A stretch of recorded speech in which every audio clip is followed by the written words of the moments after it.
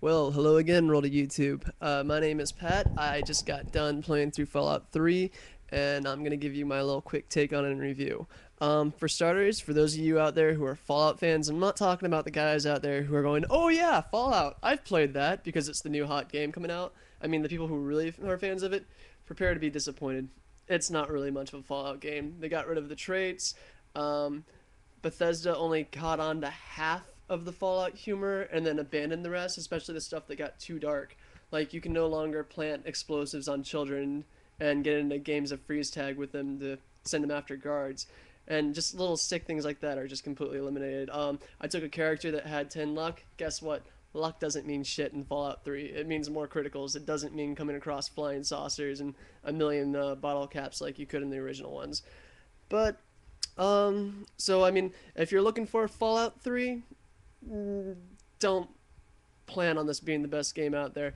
It is, however, a fun game. I, I will admit that. Um, if you're someone who's a fan of Bethesda, or more specifically Oblivion, you're probably gonna find this more appeasing, and that's probably gonna be the majority of you gamers out there. And uh, everybody hopping on the bandwagon won't be disappointed and be like, "Oh, this is a great game," you know. But once again, like you know, they're in D.C. Uh, according to the Fallout universe, Washington D.C. was wiped off the map, but now it's not. So, but uh, no, the game does play well. Um, it doesn't suffer from some massive, massive, massive uh, gameplay issues like not every single Elder Scroll game fell into. Like uh, the leveling system is across the board even, so you don't sit there and go, "Oh, I can't press the jump button because I don't want to get that skill up by accident," and then that'll throw off my leveling, like you do in uh, Oblivion. In this game, though since it's raw experience, you can go up anywhere you want, which is really cool. And uh, they kept in uh, they kept in the perks, but then they also took the traits and mended them into the perks, which is kind of annoying. And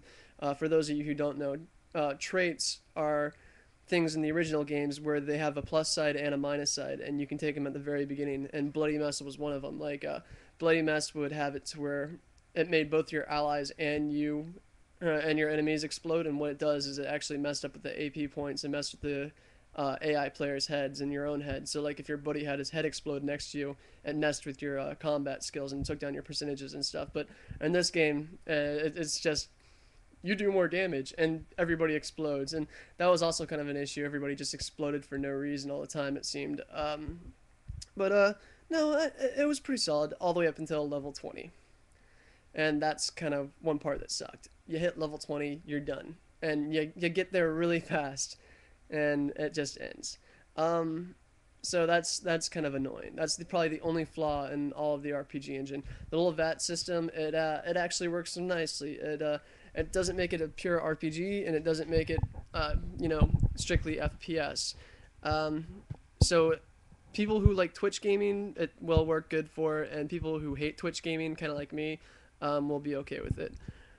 Uh, let's see, going on, going on. Oh, um, the game was janky though. I will definitely say that. Uh, it's got some major issues. It's it's a new trend in gaming, and it needs to die. And that's that. Well, we can patch the game, so we don't need to make it perfect on release. And it, it got annoying. Like you know what's really annoying is when you play through the entire game and you come up to the big, huge, like uh, climatic ending, and have the game crash on you. Not once, not twice, not three times, but four four times. That's how many times I had to restart like the last big climatic fight because uh, my Xbox 360 just kept shitting the bed. It like it hung up twice. Uh, the uh, AI script just stopped working, and this guy you're supposed to be following just stopped. And it's so yeah, things like that just really bogged down in a game. Um, the quests were nice though. The the at first. Um, at first you feel very overwhelmed with all the quests and you feel like it's wide open but then like you kind of hit a wall and you go, wait a minute, that's it. And uh, to be honest, I'd say Fallout 3 has about a third of the quest as Oblivion does, and that's something that's really annoying and something that was disappointing to me.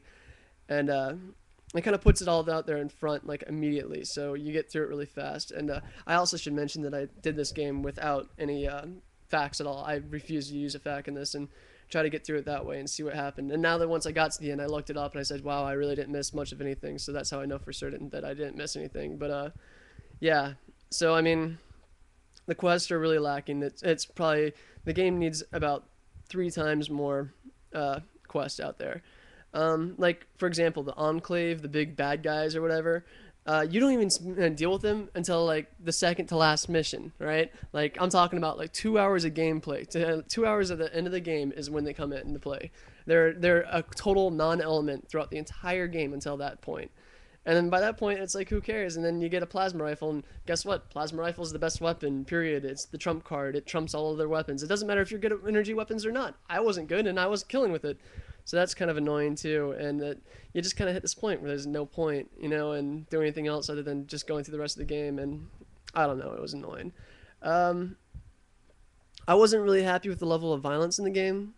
And uh, I don't have a problem with violence and stuff. It's not that. It's just that, like, they start you off in the game where everybody's heads are, are instantly exploding, and that's the way the game starts. And then like you get bloody mess, and then people just explode like cherries, and that's just stupid. You know it? It kind of it kind of ruins the point of having the violence in the game if everything's just people exploding, people exploding. That kind of got annoying. That's just more of a design flaw. Um, I will say this though, they did wise up and uh, streamline the game to where it wasn't bogging down my system to where it was overheating. Like uh, my Oblivion game, I can only play that game for about an hour increment because my Xbox will start overheating because I have a first gen Xbox. And uh, this one time around, I think they pulled back on it, and that's good. But um, really, that's about all I have to say about the game. Um, it is a good game. It is worth playing. Um, but it is an average length game. It's not Oblivion long, which is important to note.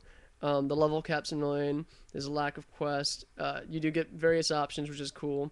The dialogue's pretty much intact from the original Fallout series, but they did abandon the humor and forget uh, just rewrote the story, which was annoying. So if you're a fan, um, let's see, they did do a good job keeping all the skills even and on par. That was good. Uh, but yeah, obviously this game is one of those games that was intentionally made to be played over and over and over again. I just did my Goody Two Shoes character, and I'm about to do my uh, my Nihilist character. And uh, oh, one other thing about the skills I forgot: it doesn't pay to polarize your character. That's important to mention. When you're making a character in that game, like don't even bother going, oh, 10 luck, don't go 10 agility. Like, take it and just spread out, out your abilities across the board evenly. Uh, that's all I can say because in the game, it's obvious that the only thing that affects is the level of skill that you start off on, the base skill. And that can already be brought up, and you can only get like certain perks if they're up to certain levels and uh, or stats and levels. And uh, I think the highest one that there is in the game is seven. So you can really play with it and you don't have it to where all stats start off in five and you adjust them like they did in the first game. That's when it's they're all five and then you get ten extra stats. So you're you're really overpowered in the game. But uh, I don't know. I think this is a game that everybody with an Xbox 360 or a PS3 out there should get and play. Oh, and PC of course. And uh, I, I don't know if this is a game that you're gonna want to play right off the bat. The people that I would recommend this for are you know Julian Rabid, Bethesda fans, which there are a lot of you out there, and anybody who's just really interested in playing a good action RPG. But just don't expect this to be like an end all game that you can play forever. That's all I have to say. And if you want me to give it an arbitrary number, I'd say this game probably is about an 8.5 out of 10. And uh, that's about dead par with what I thought Fable 2 was, which I also got and played through immediately. Um, between the two, if you're deciding between buying Fable 2 or Fallout 3, I'd really go with uh, what kind of game do you want to play. If you want to play Zelda, get Fable 2. If you want to play um, an action RPG FPS type of game, get Fallout 3. Um, as far as the character decisions and all that, to be honest, I think both games are really on par with each other. Uh, I kind of like the art direction more in Fable 2, but whatever. Um, but yeah, once again, this is a game you should eventually buy. I'm not sure if you want to buy it right away, but definitely consider buying it in the bargain bin if not you know, brand new. So thank you for listening. Please leave your comments, and I will be happy to answer all of them. Have a good day.